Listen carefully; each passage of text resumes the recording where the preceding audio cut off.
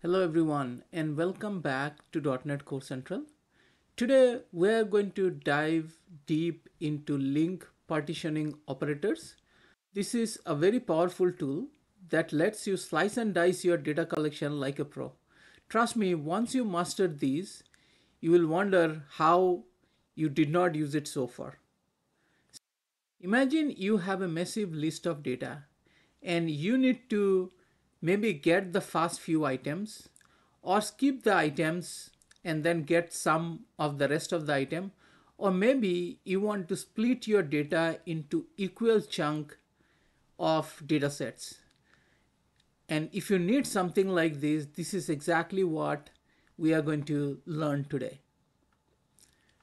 Before we jump into the code let's understand what partitioning means in LINQ Think of it like this. You have a deck of cards and you want to split it without changing the order. This is exactly what partitioning does with your data collections. So let's start with a simple example and say we have this collection of number and I created a range of number from 0 to 7 using enumerable.range method, which creates a sequence of integer number. Here I pass 0 as the first and 8 as the last, which means it starts with the index 0 and total 8. So it will be from 0 to 7. And I'm just printing out that number. And if I run this application, I can see it prints 0 to 7. Now, let's take the first three numbers. So we essentially want to take 0, 1 and 2. So for that what we can do is we can create var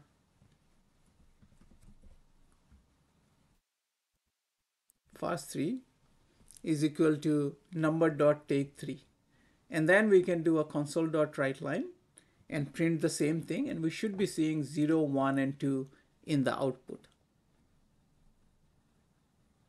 see it is 0 1 and 2 it's pretty neat right? This is perfect when you need just the first few numbers of your collection.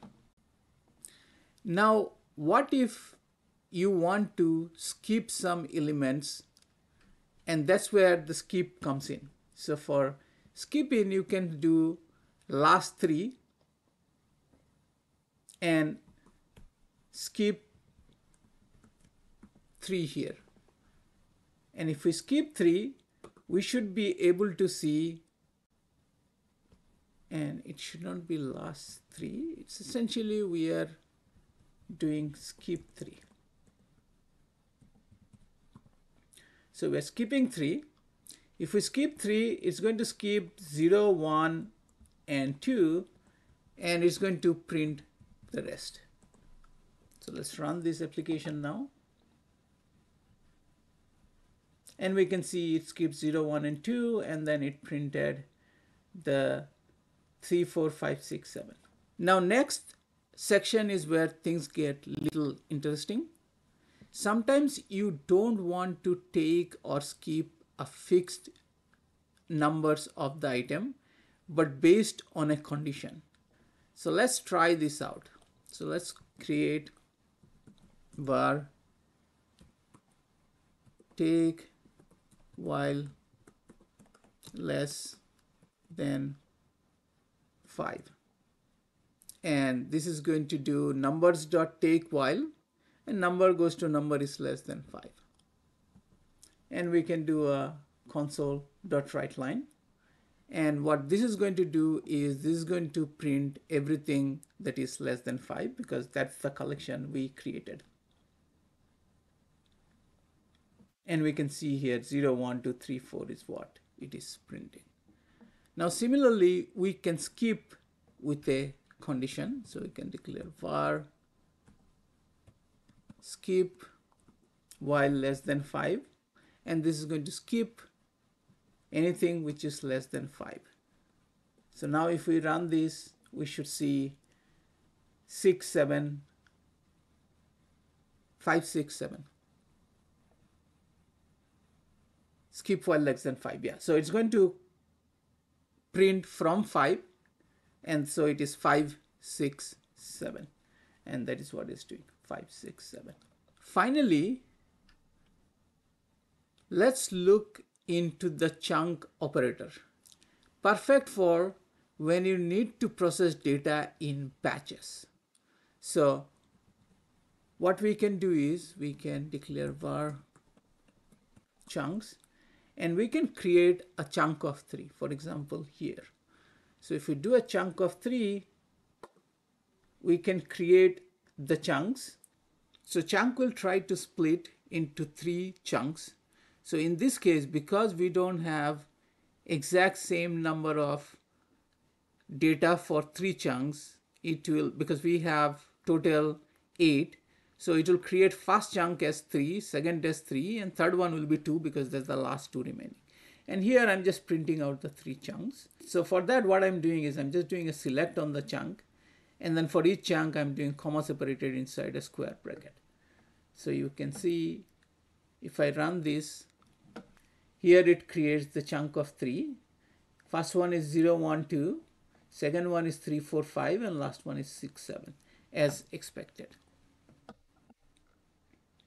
So now let's look into a practical example of how we can use this. And the best way to use this is for pagination. If we want to create a web API where we want to use a pagination. So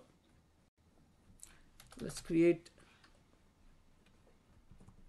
a function. So we can say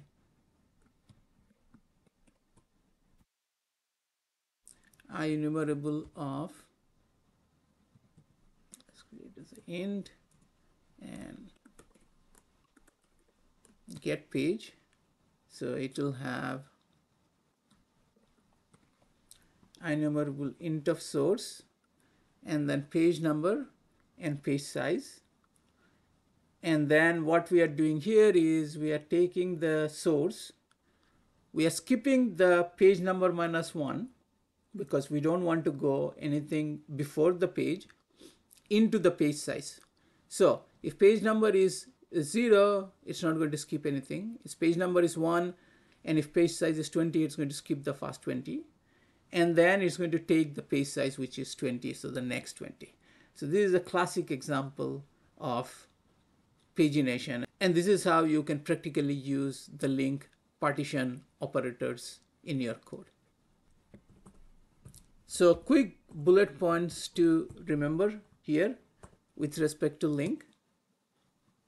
The first one is use take skip for fixed size partitioning.